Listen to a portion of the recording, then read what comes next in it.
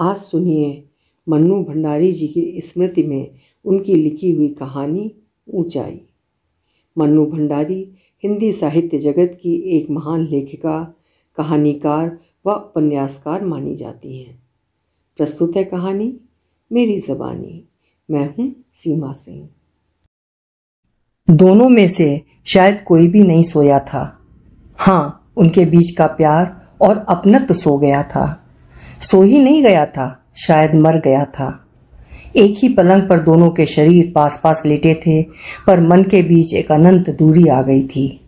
शिवानी के मन में कहीं बहुत गहरे एक टीस अवश्य थी, पर ऊपर की उस जड़ता को क्या करे, जो उस टीस का पूरी तरह एहसास भी नहीं होने देती थी, जिसके नीचे अतीत, वर्तमान और भविष्य, सभी कुछ इस प्रकार मिलजुल गए थे कि वो तीनों को अलग अलग करके देख ही नहीं पाती। आठ वर्ष के सुखद विवाहित जीवन की मधुर घड़ियाँ किसी भी क्षण टूट जाने वाला वर्तमान का ही तनाव और अनिश्चित भविष्य का अंधकार, उसे न कहीं से पुलकित कर रहा था, न खिन्न, न भयभीत।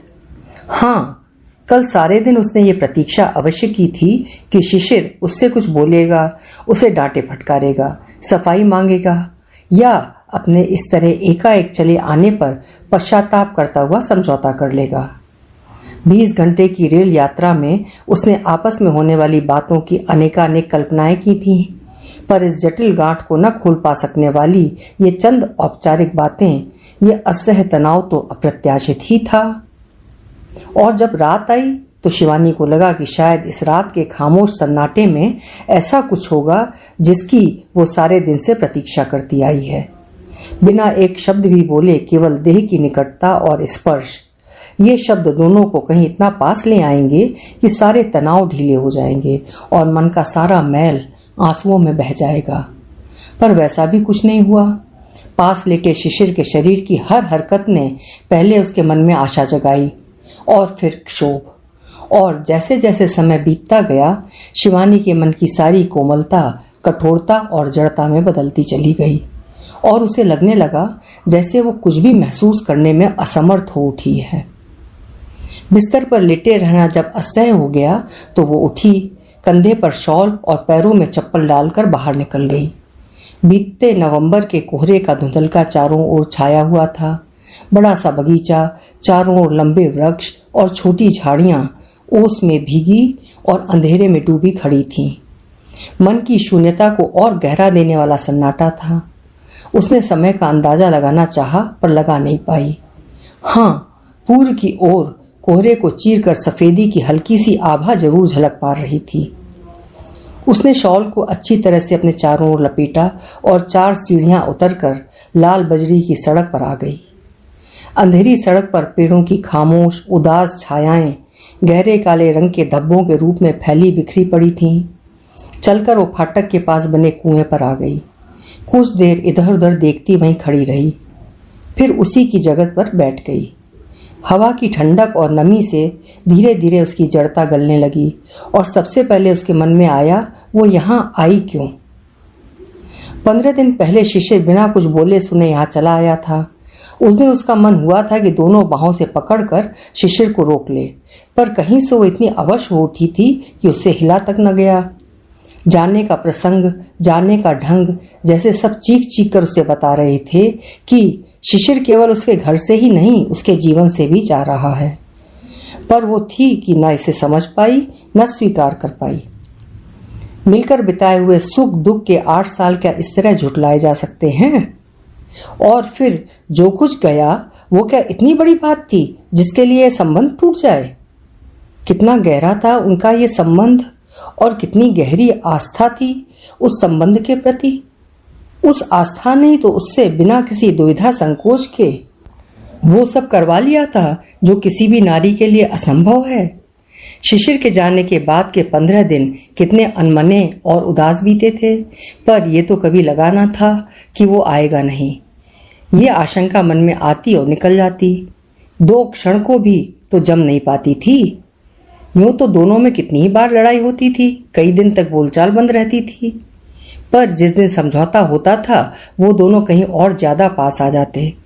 हर बार झगड़ा उन्हें निकट से निकटतर ही लाया था, और इसीलिए जिस दिन उसे शिशिर का पत्र मिला था कि 25 तारीख की गाड़ी पकड़कर 26 को राजगिरी पहुंचो, मैं स्टेशन पर तुम्हारी प्रतीक्षा करूँगा। तो एकाएक ही उसके मन का सारा बोझ हल्का हो गया था। एक बार भी उसके मन में नहीं आया कि इस बार की घटना, इस बार का कारण पहले से बिल्कुल भिन्न है। इसीलिए इसका परिणाम भी भिन्न ही होगा। 26 को जब वो दो डिब्बों के ट्रॉम नुमा गाड़ी से राजगिरी स्टेशन पर उतरी तो शिशिर खड़ा था। देखकर यह ज़रूर लगा था कि पंद्रह दिन में जैसे शिशिर कहीं से बहुत बदल गया है। इतना कि पहचानने में भी तकलीफ़ सी हुई थी। कहीं दूर से भोजपुरी गीत की एक कड़ी हवा की लहरियों पे थिरकती हुई आई और मन के तारों को झंझना गई। शिवानी की इच्छा हुई कि पास बैठकर कोई बहुत ही दर्दनाक गीत उसे सुनाए। पता नहीं कौन दूर ही दूर से गाता हुआ चला गया। वो आज ही वापस लौट जाएगी। जो कुछ हुआ है उसे स्वीकार कर लेने में ही सार है। निश्चय उसने कर लिया। पर अपने निश्चय के परिणाम की, अपने भविष्य की कोई भी तस्वीर उसके मन में नहीं उभरती थी। शायद अभी भी मन की आस्था ने कल्पना को जकड़कर निश्चेष्ट बना रखा था। एक ठंडी निश्वास के साथ उसकी आँखें छलछला आईं अतुल इस बात को जानेगा तो कितना दुखी होगा, अपने को कितना कितना कोसेगा और साथ ही एक बड़ी अजीब सी बात उसके मन में आई। मान लो, भावावेश में आकर वो कह दे, मेरे कारण मेरी जरा सी खुशी के कारण तुमने अपने को बर्बाद कर लिया, शीनू। अब अब मुझे बनाने का अवसर और अनुमति भी दो। पास की झाड़ियों के पत्ते को हल्के से सरसराता, कपकपाता, शीतल हवा का एक झोंका निकल गया। शिवानी ने सिर ढक लिया। उसे कानों पर बड़ी सर्दी लग रही थी। आँखों की तराइयाँ घनी हो उठी और पलकों के कगारों के बीच आँसू उमड़ उमड़ कर पाने लगे और वे क्षण पानी, चारों ओर पानी। उमड़ता, घुमड़ता, लहराता समुद्र। प्रिटी रेत में खेल रहा था और वो बड़े अनमने भाव से समुद्र के वक्ष स्थल पर उठती गिरती लहरों को देख रही थी। उसका मन बेहद उदास था। शिशिर हमेशा की तरह प्रोग्राम बिगाड़ता है। व्यर्थ ही वो अकेली चली आई। उसे शिशिर के साथ ही रहना चाहिए था, उसके साथ ही आना चाहिए था। अब वो यहाँ नहीं ठहरेगी। एक महीने को ही तो प्रति घर आया है और वो महीना सबको साथ ही बिताना चाहिए। दो दिन में ही वो लौट जाएगी। साँझ खूब गहरा आई, तट निर्जन हो गया और समुद्र का पानी अंधेरा घुल जाने के कारण काला हो गया तो प्रिटी का हाथ पकड़कर वो लौट पड़ी। अचानक अपना नाम सुनकर वो चौंकी और जब मुड़कर देखा तो सामने खड़े व्यक्ति को पहचानने में उसे दो मिनट लग गए थे। पर जब पहचाना तो बेहद आश्चर्य में लिपटा स्वर निकला था अरे अतुल, यहाँ कैसे? मैं बड़ी देर से तुम्हें बैठा हुआ देख रहा था, पर पता नहीं क्या सोचकर पास नहीं आया। जब तुम जाने लगी तो लगा कि अभी भी बात नहीं करूँगा तो फिर तुम्हारा पता पाना भी मुश्किल हो जाएगा। ठहरी कहाँ हो? अंधकार में तीनों धीरे धीरे चलते जा रहे थे। पूरी होटल में तुम कहाँ ठहरे हो? रामकृष्ण मिशन वालों का एक मठ है, उसी में रहने की व्यवस्था कर ली है। बच्चे को लेकर अकेली आई हो? हाँ और वो सोचने लगी, क्या प्रटी की शक्ल उससे इतनी ज़्यादा मिलती है कि उसे उसका बच्चा ही माना जाएगा? और होटल आया। उसके पहले ही दोनों को लगा कि अब बात करने के लिए कुछ रह नहीं गया है। शिशिर के न आने से वो यूँ ही उदास हो रही थी। कुछ भी करने को मन नहीं कर रहा था। फिर ग्यारह साल के अंतराल में वो सब कुछ भूल भी तो गई थी। समझ ही नहीं पा रही थी कि क्या बात करे। उसके दिमाग में कोई भी पुरानी बात तो नहीं उभर रही थी। होटल आ गया तो एक क्षण को ठिटकी फिर बोली, चलो, कुछ देर बैठ कर जाना। पर स्वर की उदासी से स्पष्ट ही था कि ये केवल शब्द भर ही हैं, इनमें ठहरने का कोई आग्रह नहीं। अतुल भी समझ गया, नहीं, ठहर तो नहीं सकूँगा। आप अकेले ही हैं ना? पता नहीं क्या जानने के लिए शिवानी ने पूछा। हाँ तो कल सवेरे चाय पीने इधर ही आइए। और फिर उसे खुद ही बड़ा विचित्र लगा। अगर वो अकेला नहीं होता तो क्या वो उसे नहीं बुलाती? आप ज़रूर आइए, परसों शायद मैं वापस लौट जाऊँगी। अच्छा आऊँगा। दूसरे दिन जब अतुल आया तो पहले दिन की उदासी और औपचारिकता समाप्त हो चुकी थी। सारे दिन दोनों साथ रहे, तीसरे दिन भी शिवानी नहीं गई और अतुल उसके होटल में ही रहा।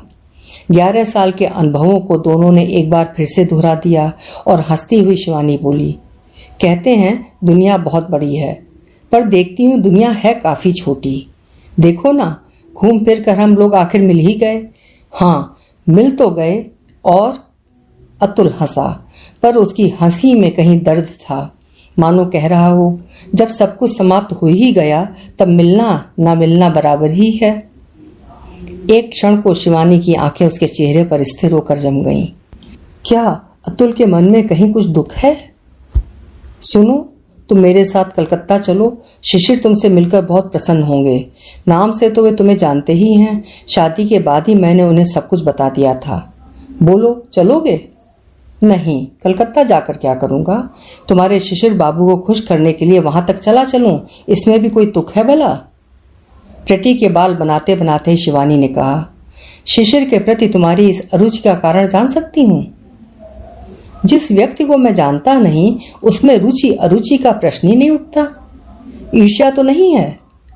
एक हाथ में कंघा और दूसरे में प्रति की ठोड़ी को पकड़े हुए उसने अतुल के मन में बैठने का प्रयत्न करते हुए पूछा, ऐसे घूर घूर कर क्या देख रही हो? हो भी तो कोई अस्वाभाविक नहीं? अतुल हंसा, अतुल की हँसी कितनी बदल गई है। और शिवानी के सामने ग्यारह साल पहले के अतुल के हँसते हुए अनेक चेहरे उभर आए। जो व्यक्ति स्वेच्छा से अपनी वस्तु को छोड़कर दो साल तक उसकी कोई खबर भी ना ले, उसे ईर्ष्या या शिकायत करने का कोई अधिकार नहीं है। शिकायत तो मैंने नहीं की। अधिकार, अनाधिकार की अपनी सीमाएँ भी मैं जानता हूँ, शीनू। तुम्हें बतानी ना होगी। अतुल कलकत्ता नहीं गया। पर जब शिवानी कलकत्ता के लिए रवाना हुई तो उसने वायदा किया कि जुलाई में जब वो प्रेटी को उसके स्कूल छोड़ने के लिए जाएगी तो एक दिन के लिए अवश्य इलाहाबाद रुकेगी। ट्रेन चल पड़ी तो शिवानी इस आकस्मिक मुलाकात के संयोग पर ही सोच रही थी। अतुल के एकाकी जीवन के प्रति उसके मन में हल्के से दर्द का एहसास भी था और संतोष का भी। पर वैसा तो कुछ भी नहीं हुआ था। इस मुलाकात में एक त्रिकोण की कोई समस्या आती आठ साल का सुखी जीवन बिताकर, दो बच्चों की माँ होकर, ऐसी किसी स्थिति की संभावना से भी वो कितनी दूर जा चुकी है, इसे वो खूब अच्छी तरह समझती थी। लो, तुम्हारे मित्र साहब का पत्र भी आ गया। हल्के पीले रंग का लिफाफा पकड़ाते हुए शिष्य ने मज़ाक किया था। शिवानी को लगा, चेहरे पर लिपटी हँसी, स्वर के बिखराव को छिपा नहीं सकी। वो एक क्षण को रुकी, गौर से शिशिर के चेहरे को देखा तो बड़ा नामालूम सा आघात उसके मन पर लगा। फिर भी उसने बड़े सहज, स्वाभाविक ढंग से पत्र लेकर पढ़ा और वापस लिफाफे में डाल दिया। पति के मन में उठी हल्के से संशय की कोर को मिटाने के लिए उसने एक बार भी ये नहीं कहा कि, लो, पढ़कर देख लो कि क्या लिखा है। संदेह उठे ही क्यों?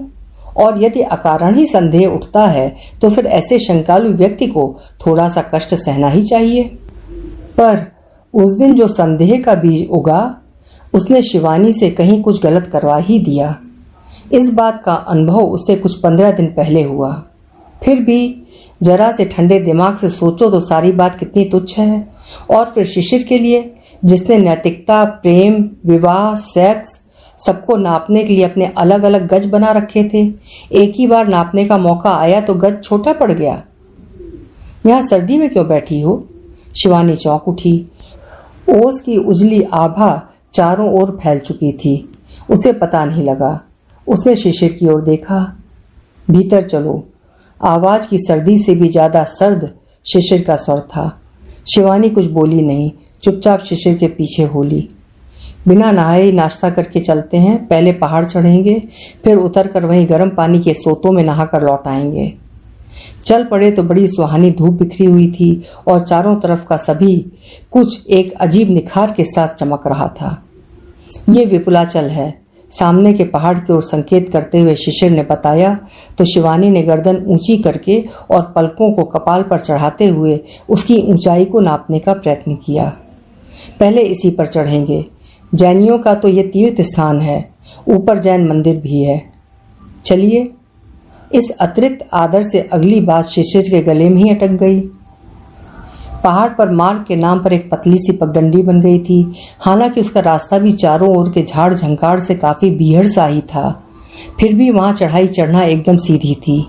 वहाँ पत्थर डाल डाल कर चढ़ने के लिए सीढ़ियाँ सी बना रखी थी। शिशिर ने पगडंडी पर दो कदम रखे ही थे कि शिवानी ने कहा पगडंडी से क्या चढ़ना? यहाँ से तो सभी चढ़ते हैं। चढ़ना ही है तो उस जंगली रास्ते से चढ़ो। और वो जहाँ की तहां खड़ी रही। कहा भी उसने ऐसे ही था। मानो बस कह ही दिया हो, कोई सुने ना सुने।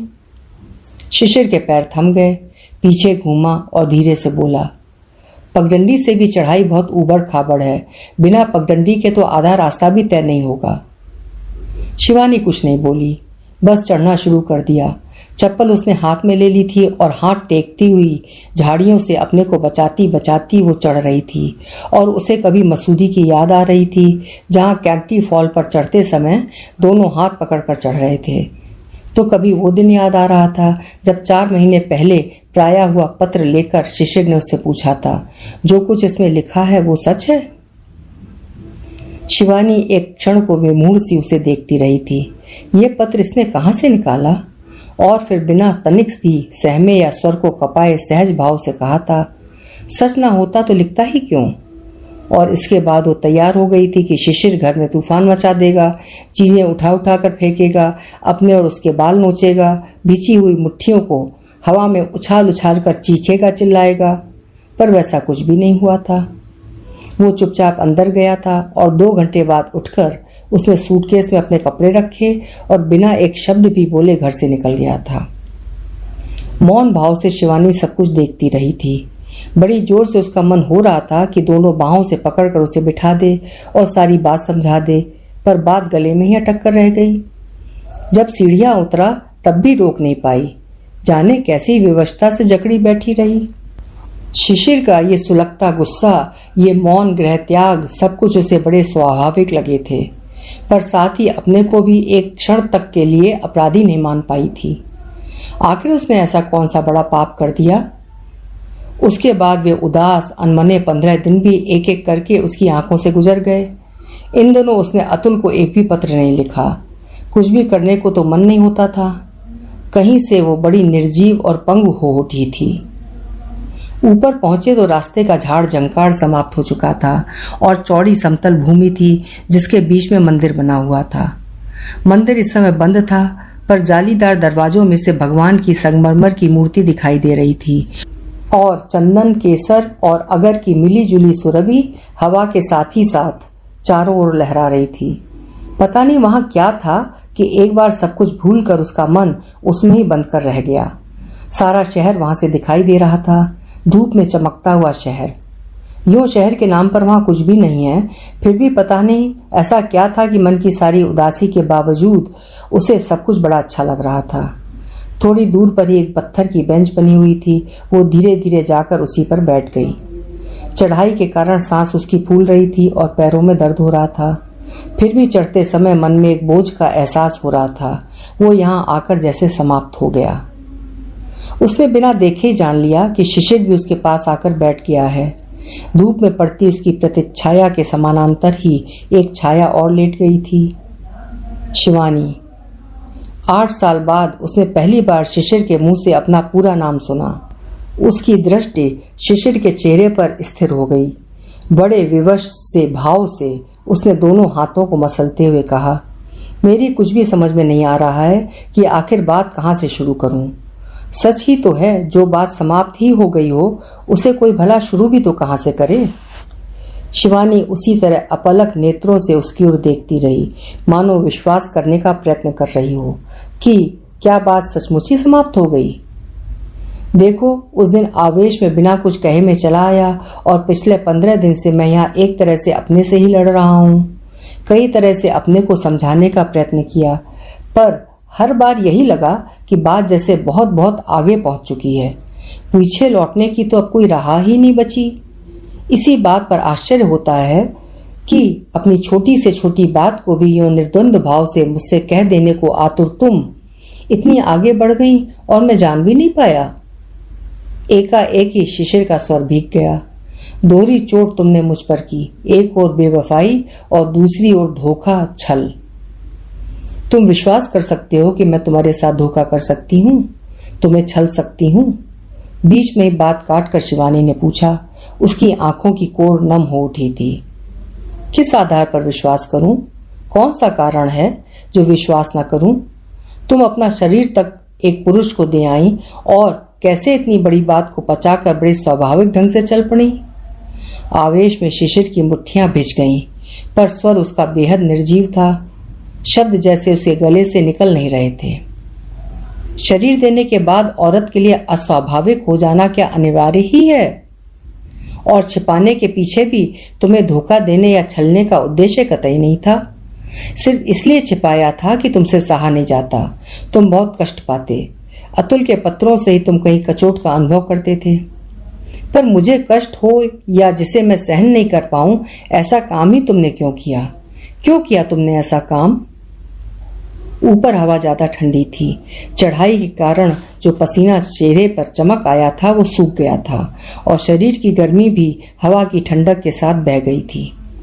शॉल को अपने चारों ओर अच्छी तरह से लपेटते हुए शिवानी ने धीरे से कहा, जैसी स्थिति थी, उसमें लगा कि यदि वो नहीं करूँगी तो मुझे बहुत कष्ट होगा।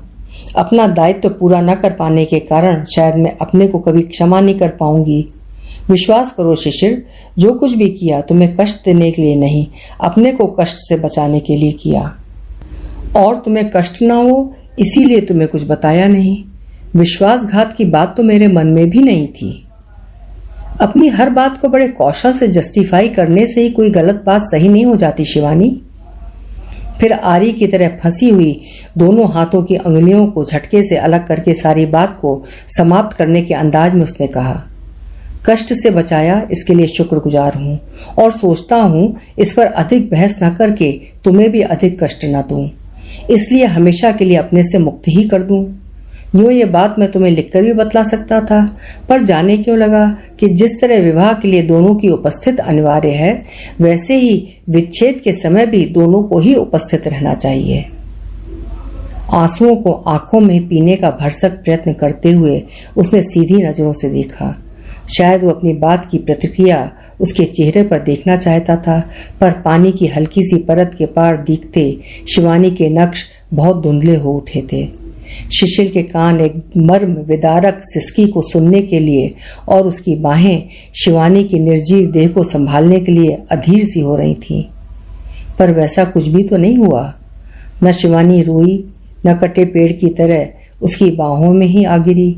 उसने बिना पलक उठाए केवल इतना ही कह दिया, यदि हमारे संबंधों का आधार इतना छिछला है, इतना कमज़ोर है कि एक हल्के से झटके को भी नहीं संभाल सकता तो सचमुच उसे टूट ही जाना चाहिए। अपना ऐसा निर्जीव और भाव विहीन स्वर उसके अपने लिए भी अपरिचित था। उसने आँखें उठाई, पर शिशिर की ओर नहीं देखा।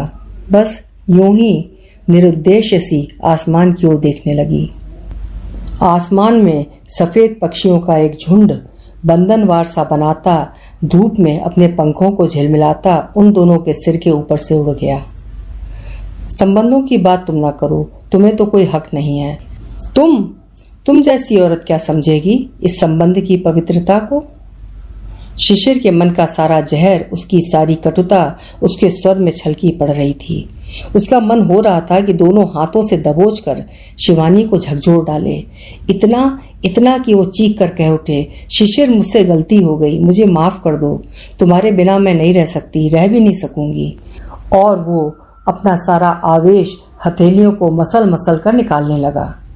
शायद तुम ठीक ही कहते हो, क्योंकि अब तो सचमुच ही मुझे इस संबंध में कोई पवित्रता नज़र नहीं आती। मैं तो सोचती थी, ये संबंध इतना ज़्यादा पवित्र है कि सारे संसार की अपवित्रता भी इसमें आकर पवित्र हो जाती है। पर जरा से स्पर्श से यदि बकवास बंद करो। शिशिर एक तरह से चीख सा पड़ा और फिर दोनों एकाएक ही चुप हो गए। अजीब सा था वो सन्नाटा भी। पथराई सी नज़रों से शिवानी ने देखा कि उसकी छाया के पास की छाया हल्के से कांपी और फिर धीरे धीरे सड़क कर दूर होने लगी। वो अपलक नेत्रों से दूर होती उस छायाकृति को ही देखती रही। तभी सूरज आसमान में फैले, एक दूधिया रेशमी बादल के टुकड़े की ओट में हो गया और वो छाया बेहद धूमिल हो उठी। शिवानी ने उधर से नज़रें हटा ली। धूप के अभाव में हवा और भी ठंडी लगने लगी। उसने हवा में फरफराते अपने पल्ले को पकड़कर सिर ढक लिया और फिर अच्छी तरह से गर्दन के चारों ओर लपेट लिया, जिससे कानों में सर्दी नहीं लगे। बादलों की परत शायद कुछ घनियों उठी थी, इसीलिए सामने का सारा दृश्य दूर दूर तक फैले मैदान और उनकी सीमा निर्धारित करते पहाड़ सभी बड़े धुंधले हो उठे। पहली बार शिवानी की आँखों में आँसू भर आए और वे सारी धुंधली, अस्पष्ट आकृतियाँ भी मात्र धब्बे भर रह गईं, जो रह रहकर काँप जाती थीं। उसने घुटनों में अपना मुँह छिपा लिया। उसे अतुल के साथ बिताए दो दिन याद आए। वे दृश्य, वे बातें, वे स्पर्श। अपने वायदे के अनुसार प्रीति को लेकर वो सवेरे इलाहाबाद उतरी थी। अतुल के स्वागत और खातिर से वो कहीं भीतर तक भीग उठी थी। अतुल दोपहर तक बस केवल प्रीति के साथ खेलता रहा था। उसके लिए उसने ढेर से खिलौने लाकर रखे थे और जब खाकर प्रीति सो गया था तो पहली बार दोनों ने आमने सामने बैठकर बातें की थी। शिवानी सवेरे से ही अतुल के सजे सजाए घर को, बच्चे के प्रति उसके प्यार को देख रही थी और सोच रही थी उस अभाव की बात, जो वह उसके जीवन में भरकर चली गई है। पर वो तो उसके लिए उत्तरदायी नहीं है। फिर भी जाने क्यों लग रहा था कि इस सब के बीच कहीं वो है? शायद इस तरह का प्रश्न पूछने का अधिकार तो मैं खो चुकी हूँ, फिर भी पूछ रही हूँ अतुल, कि तुमने शादी क्यों नहीं की? अतुल मुस्कुराया था। जाने कैसा दर्द भरा व्यंग लिपटा था उस मुस्कुराहट में कि शिवानी बस देखती ही रह गई। पता नहीं क्यों, शादी की कोई इच्छा ही मन में नहीं जागती। लगता है जीवन का यही पैटर्न बन गया है। बड़ी हताश से स्वर में अतुल ने कहा था, और शिवानी कुछ देर तक समझ नहीं पाई थी कि अब क्या कहे। फिर बोली, जो पैटर्न है, उसमें तो देखती हूँ, विवाह की बहुत ज़्यादा गुंजाइश है। कॉलेज का अच्छा जॉब है, सजा सजाया घर है, निश्चित जीवन है। अब कौन सी बाधा है? ग्यारह साल पहले का वो अनिश्चित राजनीतिक जीवन भी अब तो पूरी तरह छूट गया है। फिर? अतुल ने कुर्सी की पीठ पर सिर को झुला लिया और आँखें भींच ली। दो क्षण चुप रहने के बाद वो बोला, मैं खुद नहीं जानता क्या बात है, पर शादी के लिए मन में कोई उत्साह नहीं रह पाता। ऐसा नहीं कि तुम्हारे बाद मेरे जीवन में कोई आया नहीं। दो लड़कियाँ आईं और बहुत निकट आईं, पर तुमसे कटकर मैं शायद कहीं से इतना ज़्यादा टूट चुका हूँ कि मन में किसी बात के लिए कोई उत्साह नहीं पाता। कहीं से मैं बेहद जड़ हो गया हूँ। I am completely dead Sheenu. Completely dead किसी लड़की को देने के लिए मेरे पास कुछ भी तो नहीं है। मरे हुए प्यार की लाश को मैं ढो रहा हूँ और उसे ढोते ढोते मैं खुद लाश हो गया हूँ। स्वर भीगा, कांपा और फिर बिखर गया। शिवानी की आँखों में दो बूंद आँसू चू पड़े थे। उसके बाद रात को गाड़ी में बैठने तक दोनों में कोई बात नहीं हुई थी और जब गाड़ी चल पड़ी, अतुल पीछे छूट गया तो वो तकिए में मुँह छिपाकर देर तक आँसू बहाती रही। किस बात पर उसे रोना आ रहा था, वो खुद नहीं समझ पा रही थी। तीसरे दिन रात को बिना किसी प्रकार की सूचना दिए, वो अपनी अटैची हाथ में लिए अतुल के क्वार्टर पर जा पहुँची थी। विस्मित, पुलकित सा अतुल उसे देखता ही रह गया था। तुम? तुम कैसे? तुम तो तीन चार दिन प्रेटी के साथ रहने वाली थी ना? नहीं रुकी। अटैची को एक और रखकर कुर्सी पर बैठते हुए उसने जवाब दिया था। पर तुम खुली हुई किताब को उल्टी रखकर कुर्सी को शिवानी की ओर घुमाते हुए अतुल बोला, बिना सूचना दिए कैसे आ गई? क्यों आ गई? यही ना? अतुल की कुछ भी समझ में नहीं आया कि वो क्या कहे। नहा लूँ, तब बात करूँगी। और वो उठ पड़ी। ऐसे मशीनी ढंग की दृढ़ता से वो बातें कर रही थी कि उसे ही स्वयं अपना व्यवहार बड़ा अपरिचित और पराया लग रहा था। वो नहाने गई तो उसने नल को पूरा खोल दिया। उसे लग रहा था जैसे पानी के साथ उसका शरीर से केवल सफ़र की धूली नहीं चढ़ रही है और भी बहुत कुछ पूछता बहता चला जा रहा है। बड़ी देर तक वो पानी के नीचे खड़ी रही। मानो कुछ था जिसे वो पूरी तरह धोकर बहा देना चाहती थी। नहाकर पीठ पर गीले बाल फैलाए आई तो देखा अतुल जो का त्यों बैठा था।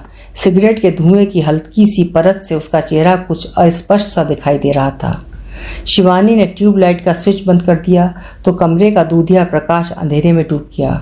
केवल टेबल लैंप के बिखरते प्रकाश में सिमटी चीज़ें ही चमकती रह गईं। मुझे ये रोशनी जरा भी अच्छी नहीं लगती, और शिवानी अतुल की कुर्सी के पास आकर खड़ी हो गई। खाना? ट्रेन में ही खा लिया, और वो कुर्सी के हत्थे पर ही बैठ गई। अतुल? अतुल, चुप। सद स्नाता शिवानी के शरीर की ताजगी भरते बालों का गीलापन और बिनाका पाउडर की गंध, फिर भी अतुल चुप ही रहा। शिवानी धीरे धीरे उसके बालों में अपनी उंगलियाँ फेरने लगी। तुम जानती हो शीनू? तुम क्या कर रही हो? ये सब मैं तुम्हें कभी नहीं करने दूँगा, कभी नहीं। मेरे लिए तुम अपना सारा संसार मिटा कर रख दो, तुम्हारी इतनी अनुकंपा मुझसे सही नहीं जाएगी। स्वर कहीं दूर घाटियों की गूंज की तरह आ रहा था। शिवानी अतुल के चेहरे को देख रही थी, पर अतुल ने अपनी आँखें बंद कर ली थी और बाकी उस चेहरा, उसका इतना जड़, इतना निर्विकार था कि शिवानी काँप गई। सिगरेट के धुएँ की एक पतली सी लकीर दोनों के बीच में खिंची हुई थी, बस। अनुकंपा की बात ना कहो अतुल, इसे और चाहे जो नाम दे लो। तुम ऐसे अकिंचन नहीं कि तुम पर अनुकंपा करूँ, और अपना सब कुछ मिटाकर देने की उदारता भी मुझमें नहीं है। मेरा कुछ भी मिटने वाला नहीं है, इसीलिए दे रही हूँ। कहने के साथ ही उसे शिशिर का ख्याल आया, पर उसे जबरन एक और ठेल कर उसने अतुल के होठों पर अपने कांपते हुए होठ रख दिए। उंगलियों में दबी हुई सिगरेट की पकड़ इतनी कस गई कि वो कसमसा कर टूट गई। मैं जानता हूँ तुम्हारे पति बहुत उदार हैं, महान हैं, बड़े अनकन्वेंशनल भी हैं, पर बार बार उनकी उदारता की बात कहकर क्यों नाहक ही मुझे छोटेपन का एहसास करा रही हो? पागल, हल्के से शिवानी हँसी थी। आदमी छोटा अपने मन के छोटेपन से होता है। दूसरे का बड़प्पन किसी को छोटा नहीं बनाता, बना भी नहीं सकता। मेरे लिए जैसे शिशिर वैसे ही तुम हो, और उसने फिर हल्के से अतुल के होठों को छू दिया। इस बार सिगरेट का टुकड़ा ज़मीन पर पड़ा था और उसकी बाहों में शिवानी की सारी देह कसमसा रही थी। और फिर एकाएक झटके से शिवानी को अपने से अलग करके अतुल ने उससे पूछा, शीनू, तुम यहाँ क्यों आई? क्यों आई तुम यहाँ? मैंने तो तुम्हें सिर्फ़ ये लिखा था कि प्रिटी को लेकर एक दिन के लिए आना। मैं तो सिर्फ़ प्रिटी से खेलना चाहता था। बहुत प्यारा बच्चा है। तुम यूँ अकेली चली आओगी? इसकी तो मैंने कल्पना भी नहीं की थी। इस सब के लिए मैं तैयार भी नहीं था। ये सब मैं चाहता भी नहीं था। हम जो चाहते हैं या जिसके लिए तैयार रहते हैं, जीवन में केवल वही होना चाहिए, ऐसा तो कोई नियम नहीं है। और तुम्हारे निमंत्रण पर ही तुम्हारे घर आना चाहिए, ये बात भी कभी मन में नहीं आई, इसीलिए चली आई। मेरा आना इतना बुरा लग रहा है तो मैं कल ही चली जाऊँगी, बड़े सदे हुए स्वर में शिवानी बोली। बुरा? शीनू कभी कभी अपने बारे में बड़ी ऊँची और मीठी बातें सुनने के लिए हम ऐसी बातें करते हैं। तुम शायद सोच रही हो कि मैं विभोर होकर कहूँगा कि, शीनू, तुम क्या आ गई? मेरे जीवन में बाहर आ गई। मैं तो चाहता हूँ कि तुम हमेशा हमेशा मेरे पास रहो। पर ऐसा मैं कुछ भी नहीं कहने जा रहा हूँ। संयम की वजह से नहीं। वरन इसलिए कि मैं ऐसा महसूस नहीं कर रहा, पर इतना ज़रूर कहूँगा कि आकर तुमने उचित नहीं किया। कई हल्के से आहत होकर भी शीनू हँसी। उचित अनुचित का मेरा अपना भी विवेक है और मुझे उसके अनुसार ही चलने दो। अपना विवेक तुम अपने छात्रों को बांटने तक ही सीमित रखोगे तो ज़्यादा प्रसिद्धि मिलेगी। अपने दिल पर हाथ रखकर पूछो, तुमने शिशिर के साथ अन्याय नहीं किया? ये उसके प्रति छल नहीं है। आते समय जिस सहजता से तुम अपने ठहरने की बात बताकर आई थी, लौटकर भी उसी तरह बता सकोगी? यहाँ जो कुछ किया, कह सकोगी उसे? अतुल की इस जड़ता और क्रूरता से शिवानी एक तरह से तिलमिला गई। उसे शिशिर का ख्याल आया। उसके हल्के से स्पर्श तक से वो कैसा उन्मादी हो जाती है, और ये? अतुल ने दूसरी सिगरेट निकाली। माचिस की जलती सीख ने एक क्षण के लिए प्रकाश के बड़े वृत्त के बीच एक छोटा सा व्रत और बना दिया। और फिर दोनों के बीच में धुएँ की हल्की सी परत छा गई। लहरदार धुएँ की। हर बात को बुद्धि के गज से नापने का मेरा स्वभाव नहीं है। मैं वही करती हूँ जो मेरा मन ठीक समझता है। बस इतना जान लो कि यहाँ आकर मैंने शिशिर के साथ धोखा नहीं किया है। उनको छलने का साहस इस जन्म में मैं शायद ही कभी जुटा पाऊँ। अतुल केवल सिगरेट के लंबे लंबे कश खींचता रहा। जब वो कश खींचता तो सिगरेट का सिरा सुर्ख अंगार की तरह चमक उठता। उसके बाद धुएँ के हल्के फुल्के बादल दोनों के बीच तैरने लगते। मेरी बात की कोई संगति तुम्हें नज़र नहीं आ रही है ना? लगता है शायद मेरे मन की बात कोई समझ भी नहीं पाएगा। तुम भी नहीं, शायद शिशिर भी नहीं।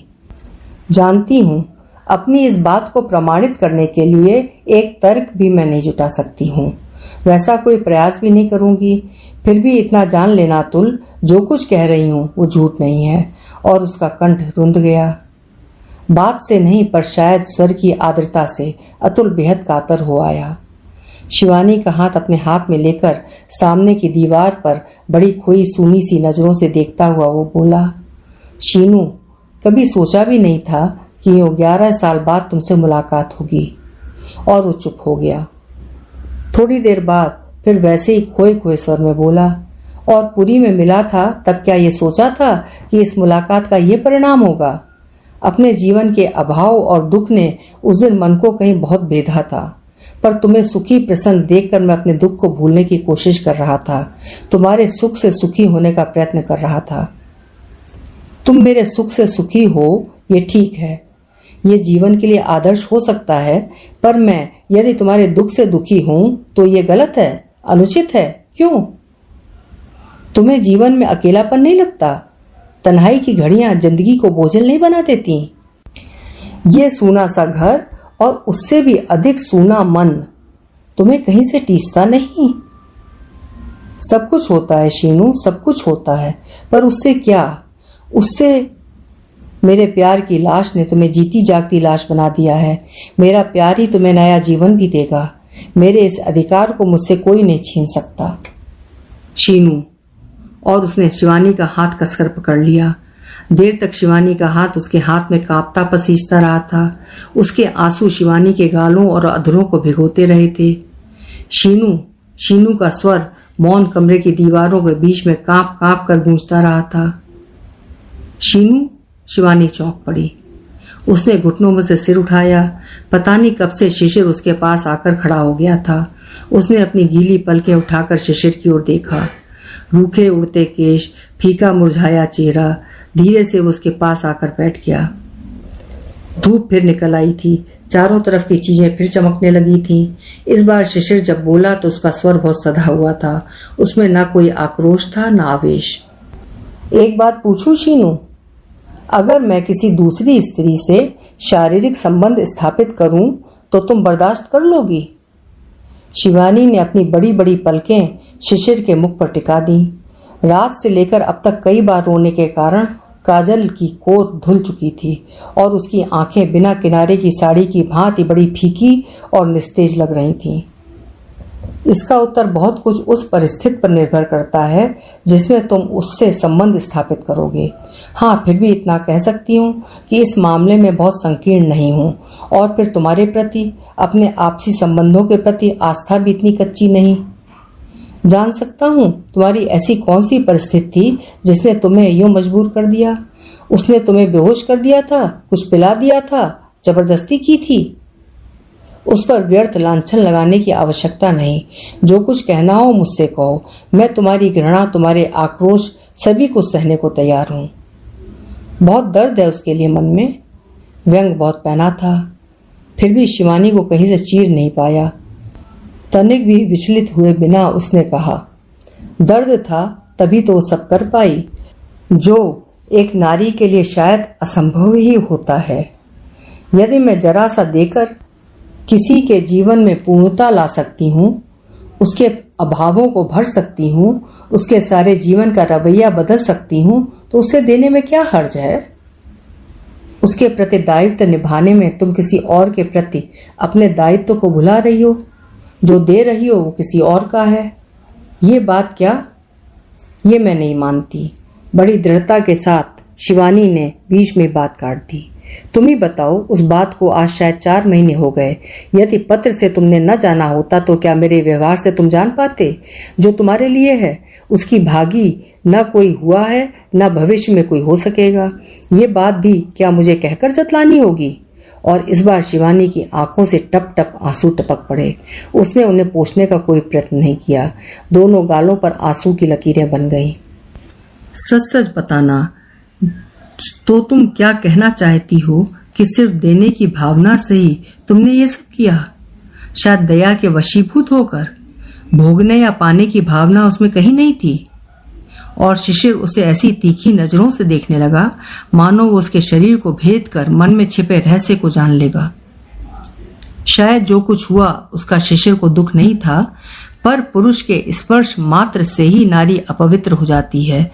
ऐसी बात को प्रश्रय देने वाली संकीर्णता भी उसमें नहीं थी। वो तो सिर्फ़ ये चाहता था कि जो कुछ हुआ, शिवानी उसके लिए दुख करे, अपराध भावना और आत्मग्लान में डूबकर प्रायश्चित कर ले। सच जानने का तुम्हारा इतना आग्रह है तो सच ही बताऊँगी। यो भी झूठ मैं आज तक तुमसे कभी नहीं बोली हूँ। शायद बोल भी नहीं सकती हूँ। पर सहना तुम्हें होगा। और शिवानी एक क्षण को रुकी। मानो सामने बैठे शिशिर की सामर्थ्य को तोल रही हो। फिर धीरे से बोली, जानते हो, देने पावने का हिसाब रखने की मेरी वृत्ति नहीं। कितना दिया और कितना पाया, ये मैं स्वयं नहीं जानती तो तुम्हें क्या बताऊँ? और दया की बात भी गलत है। जो अकिंचन हो, दयनीय हो, दया उसके प्रति की जा सकती है। पर अतुल में तो ऐसा कुछ भी नहीं। धैर्य और सहन शक्ति के सारे बाँध टूट गए हों। इस प्रकार हाथों को ज़ोर से झटक कर शिशिर ने कहा जब सारी बात ही इतनी साफ़ और स्पष्ट है तो व्यर्थ की बहस से क्या लाभ? फिर एकाएक ही स्वर को मध्यम बनाकर बोला, मैं अभी तक समझे था तुम मेरी हो, केवल मेरी, और मेरे सिवाय किसी की हो ही नहीं सकती हो। लेकिन अब लगता है कि एक बड़ा खूबसूरत सा भ्रम ही तो मैंने पाल रखा था। उसका गला भर्रा आया। अंतिम शब्द तो जैसे आँसू में भीग कर काँप गए थे। भ्रम क्यों? ठीक ही तो समझा था, साथ रहें या ना रहें, ये विश्वास तो मैं आज भी दिला सकती हूँ कि शीनू तुम्हारी है और केवल तुम्हारी ही। पति के रूप में मैं तो किसी की कल्पना भी नहीं कर सकती हूँ, अतुल की भी नहीं। तुम्हें लेकर मन का कोना कोना कुछ इस तरह भरा हुआ है कि उसमें और कोई कहाँ से आएगा भला? सच बोलने का मेरा काम था, मैंने बोल दिया। सहना तो तुम्हें ही होगा। अच्छा शीनू। और एकाएक ही उसने शिवानी का हाथ पकड़ लिया। उस समय क्या तुम्हें एक बार भी मेरा ख्याल नहीं आया? ख्याल? और इतनी देर बाद पहली बार मुस्कान की एक क्षीण सी आशा उसके फीके अधरों पर फैल गई। तुम्हारे सिवाय और कोई बात ही मन में नहीं थी। शरीर पर चाहे वो छाया हुआ हो, पर मन पर तुम, केवल तुम छाए हुए थे। शिवानी ने धीरे से अपना हाथ शिशिर के हाथ से छुड़ाया और शॉल को उतार कर एक और रख दिया था। धूप में कुछ तेज़ी आ गई थी और हवा में हल्की सी ऊष्मा। तुम सच कह रही हो, शीनू? बिल्कुल सच। और शिशिर का मन हो रहा था कि शिवानी बार बार इसी बात को दोहराती जाए। जानते तो हो, मैं तुमसे झूठ नहीं बोल पाऊँगी। कोई बात छिपा भले ही जाऊँ, पर झूठ बोलना मेरे लिए संभव नहीं। नहीं तो क्या मैं जानती नहीं कि यदि एक बार भी मैं पश्चाताप के दो शब्द कह दूँ तो तुम्हारे मन का सारा मलाल दूर हो जाए, सारा क्रोध बह जाए पर जो चीज़ मैं महसूस नहीं करती, उसे झूठ बोलकर तुम्हारे सामने स्वीकारा नहीं जाता। एक, जरा से झूठ से मेरा सारा भविष्य ज्यो का त्यों सुरक्षित रह सकता है, पर वो भी तो नहीं बोला जाता। इस बार शिवानी ने शिशिर का हाथ अपनी दोनों हथेलियों में ले लिया और धीरे धीरे सहलाने लगी। मान लो शीनू, वो आज आकर तुम्हें ही मांगने लगे तो तुम्हारा दायित्व तुम्हें किस ओर ले जाएगा? ऐसी बात भी तुम्हारे मन में क्यों आती है? अतुल अपनी सीमा जानता है, जो उसका नहीं, उसे पाने की लालसा भी कभी नहीं करता। अपने को कष्ट देना वो जानता है, दूसरे के लिए कष्ट का कारण बनना उसका स्वभाव नहीं। और मेरे दायित्व की बात उठाकर व्यर्थ ही क्यों अपने को नीचे गिरा रहे हो? मेरे जीवन में तुम्हारा जो स्थान है, उसे कोई नहीं ले सकता। लेना तो दूर, उस तक कोई पहुँच भी नहीं सकता। किसी के कितने ही निकट चली जाऊँ, चाहे शारीरिक संबंध भी स्थापित कर लूँ, पर मन की जिस ऊंचाई पर तुम्हें बिठा रखा है, वहाँ कोई नहीं आ सकता। किसी से उसकी तुलना करने में भी तुम्हारा अपमान होता है। वो एक क्षण को रुकी, पर कभी नहीं सोचा था शिशिर, कि ये सब मुझे कहकर तुम्हें बतलाना पड़ेगा। और बात समाप्त करते करते जैसे वो फूट पड़ी। तभी दो सबल बाहों के कसाव में उसकी सारी जड़ता, सारी तटस्थता एक साथ ही पिघल पड़ी। केवल आँसू, हिचकियाँ, आँसू। उतने ही भर्राए हुए स्वर में शिशिर ने पूछा, शीनू, तुम मेरे जीवन की इतनी बड़ी आवश्यकता और इतनी बड़ी कमज़ोरी हो कि मैं तुम्हारे बिना रह भी नहीं सकता और किसी भी रूप में तुम्हें जरा सा शेयर भी नहीं कर सकता हूँ। और उसके आँसू शिवानी की साड़ी में से छन कर उसके रूखे बिखरे बालों को भिगोने लगे। सुनहरी धूप में फैली दो गुथी हुई छायाकृतियाँ देर तक कसमसा कर सेहरती कांपती रहीं। मंत्रोच्चारण की ध्वनि ने शिशिर का ध्यान आकर्षित किया। घुटने तक धोती और ललाट पर चंदन पोते दो व्यक्ति हाफ़ हाफ़ कर मंत्र बोलते हुए चढ़े आ रहे थे। उसने शिवानी को धीरे से अपने से अलग कर दिया। वे दोनों शायद मंदिर के पुजारी थे। उन्होंने एक बार उन दोनों की ओर देखा और फिर मंदिर का घंटा बजाकर द्वार खोल दिया। आओ शीनू, अब लौट चलें। धूप की गर्मी और तेज़ी काफ़ी बढ़ चली थी। अनमने भाव से शिवानी उठी। दोनों एक क्षण के लिए मंदिर के सामने रुके। फिर मंदिर के पीछे की ओर वहाँ जाकर खड़े हो गए, जहाँ से ढलान शुरू होती थी। दूर दूर तक फैले मैदान, आपस में उलझी गुथी हुई पगडंडियाँ। त्रिकोण, चौकोर, आकार के कटे खेत, शहर को चारों ओर से घेरती पहाड़ियाँ नीचे रेंगते हुए छोटे छोटे मनुष्य छोटे छोटे घर, सभी कुछ बड़ा छोटा नज़र आ रहा था। हम लोग शायद काफ़ी ऊंचाई पर हैं। कितनी ऊंचाई होगी इस पहाड़ की? ठीक ऊंचाई तो नहीं मालूम, फिर भी ऊँचा तो है ही, नाम ही है विपलाचल। पहाड़ पर खड़े हो जाओ तो सभी कुछ कितना छोटा छोटा लगने लगता है है ना? शिवानी के आंसुओं से धुले मुख पर फैली हल्की सी मुस्कान, शिशिर को बड़ी प्यारी लगी। उसके कंधे पर बड़े प्यार से हाथ रखकर उसने कहा, चलो शीनू, अब गर्मी बढ़ चली है, फिर अभी कुंड पर भी तो चलना है। पर शिवानी वहीं खड़ी रही। मंदिर का घंटा रह रह कर बज उठता था, जिसकी गूंज उस सन्नाटे में देर तक गूंजती रहती थी। तुरंत की जलाई हुई अगरबत्तियाँ और लोबान की सुगंध चारों ओर फैलती जा रही थी। धीरे धीरे दोनों लौट आए। शिवानी एक बार फिर मंदिर के सामने ठिटकी फिर आगे बढ़ती शिशिर के पीछे चली गई। उतरने के लिए शिशिर ने फिर पगडंडी पकड़ी तो शिवानी बच्चों की तरह मचल उठी। नहीं नहीं, अब हम पगडंडी से नहीं उतरेंगे। मानो शीनू, बड़ा सीधा सा पहाड़ है, एकदम ढलान पर उतरा नहीं जाएगा। फिसल पड़ी तो हड्डी पसली एक हो जाएगी। नहीं फिसलूँगी, फिर तुम तो हो साथ, पकड़ लेना। और वो झाड़ियों को हाथ से चीरती हुई मार्ग बनाकर आगे बढ़ी। मजबूरन शिशिर को उसके साथ होना पड़ा। दोनों एक दूसरे का हाथ थामे, एक दूसरे को सहारा देते संभल संभल कर पैर बढ़ाने लगे। बीच बीच में कटीली झाड़ियों में शिवानी का आंचल उलझ जाता तो शिशिर बड़ी सावधानी से निकालते हुए कहता, तुम्हारी जिद की भी हद है। सारी साड़ी फाड़ ली ना? जवाब में शिवानी केवल हंस देती। नीचे उतरते उतरते शिवानी सचमुच थक गई। थकान शायद चढ़ने की थी, पर उस समय उसका एहसास नहीं हुआ था। पर एकाएक ही अब लगने लगा कि पैर जैसे झपकने लगे हैं। मैं तो थक गई रे, और वो वहीं धम्म से बैठ गई। यहाँ नहीं यहाँ नहीं, अभी गर्म पानी के कुंड में पैर डालकर बैठ जाना, सारी थकान मिट जाएगी। और हाथ पकड़कर एक झटके से उसने उसे खड़ा कर दिया। कुंड पर यूँ तो हमेशा ही भीड़ बनी रहती थी। गंधक के उन गर्म सोतों की तासीर कुछ ऐसी ही है कि अनेक रोगी उसमें स्नान करने आते हैं, पर इस समय वहाँ भीड़ अपेक्षाकृत कम ही थी। सवेरे दस बजे तक तो लोग जैसे वहाँ मेला लगाए रखते थे। अपने शरीर को खींच खींच कर शिवानी ने जैसे तैसे सीढ़ियाँ चढ़ी, और जब तक वो कुंड के किनारे गई, तब तक तो उसमें खड़े रहने की ताकत भी नहीं रह गई थी। लंबी बोझिल यात्रा करने के बाद देह जैसे एकदम निर्जीव हो जाती है, वैसी ही हालत शिवानी की भी हो रही थी। साड़ी को जरा सा ऊपर चढ़ाकर शिवानी ने जैसे ही पानी में पैर डाला, हाय के साथ वापस निकाल लिया। इतना गर्म पानी? शुरू में लगेगा, फिर देखना कितना आराम मिलता है। एक दो बार पैर डाल डाल कर वापस निकाल लो तो पैर इस गर्मी के अभ्यस्त हो जाएँगे। शिवानी पैर हिला हिलाकर पानी में लहरें उठा रही थी और लहरों के साथ ही जल में पड़ते उनके प्रतिबिंब थिरक रहे थे। धीरे धीरे सारी थकान मिटने लगी और दोनों की रग रग में ऊष्मा की लहर दौड़ने लगी। अभी आप सुन रहे थे मन्नू भंडारी जी की लिखी हुई उनकी प्रसिद्ध कहानी ऊंचाई। उम्मीद है कहानी आपको पसंद आई होगी। कल फिर मिलेंगे। हिंदी की श्रेष्ठ कहानियाँ सुनते रहने के लिए चैनल को सब्सक्राइब ज़रूर करें, लाइक करें और शेयर भी करें। धन्यवाद।